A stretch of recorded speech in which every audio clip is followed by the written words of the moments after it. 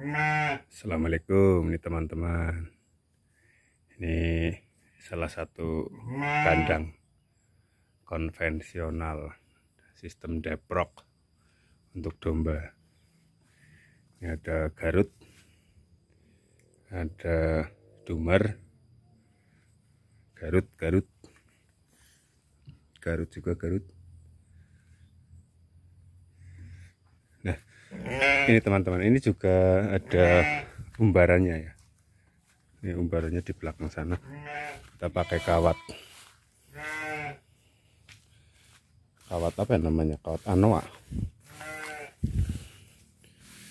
Ini kita keliling ke sana. Nah itu ada yang di sana tuh. Jadi kita menggunakan kawat keliling peneduhnya pohon pisang.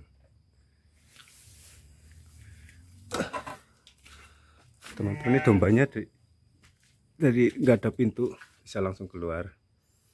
Keluar langsung ambil rumput sendiri. Ini karena udah agak siang udah pada kenyang nggak nyemi itu teman-teman. Kita lihat sisi sebelah sini.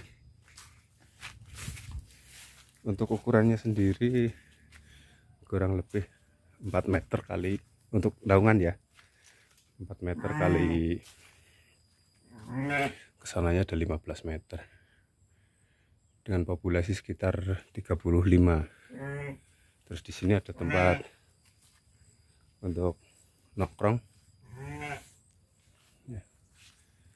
ini salin salin tukang ngaritnya. Kemudian ini teman-teman. Kita menggunakan kawat. Yang seperti ini. Tingginya 1 meter. Lebarnya sini sekitar 25 tinggi 20 jadi ini. Uh, itu ada yang sedang merumput di sana. Dari luas ininya umbarannya sekitar seperempat lah seperempat hektar ada ke sana. Ini sudah betul-betul dilepas. Nanti kalau malam juga pulang sendiri kalau panas seperti ini juga pulang sendiri. Oh ya untuk lokasinya ini ada di desa Jembangan ya masih kecil desa saya desa Jembangan kecamatan Bunggelan Kabupaten Banjarnegara. Oke teman-teman. Kalau yang mau lihat-lihat ke sini kapan pun boleh. Lebih-lebih kalau di hari Minggu saya bisa anterin ke sini. Ya, terus ini juga masih luas sebenarnya teman-teman. Sini dulu kandang Jawa Jawa Randu.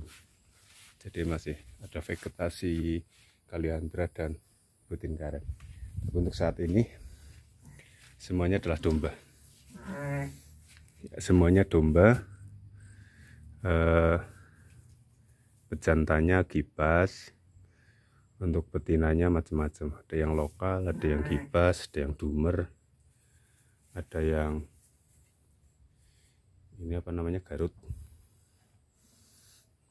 Ya kalau sudah kenyang ya seperti itu. Tidur ganyem itu teman-teman.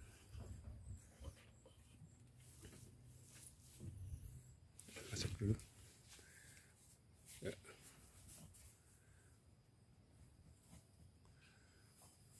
ini cuma pakai asbes ya. Asbes penjaringan sederhana banget ya. terus ini pakai seng. Seng bekas untuk tinggi makanan ya tinggi tempat makan ya. Kalau bahasa Jawanya makanan. Kalau tempat makan sekitar 40 dari tanah. Ini kompos jadi sisa-sisa yang di sini. Yang enggak habis nanti dilempar ke sini. Bahkan sampai ada yang tumbuh.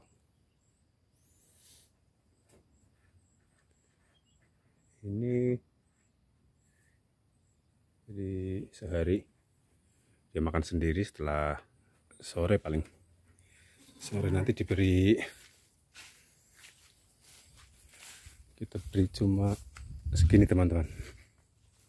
Ya cuma satu sak.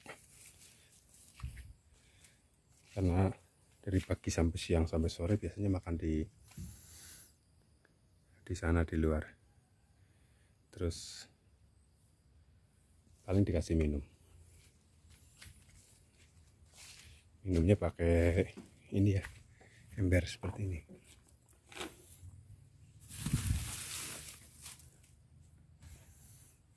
Hijau-hijau sampai nggak kemakan karena sudah sudah kenyang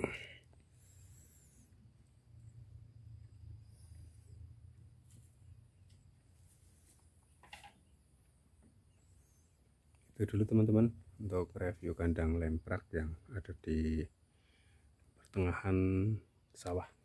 Jadi di bawah sana sawah. Sana sawah juga.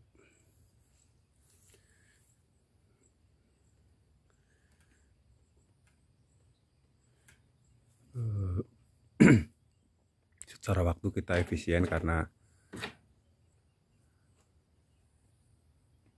kita tidak ngarit ya kalau yang di sini nggak ngarit. Uh, uh, tapi ya itu tadi. Resikonya kalau ada salah satu yang terkena penyakit cepat nular seperti ini ya. Kena peleken ya. Dan kuncinya satu sih maka sebetulnya.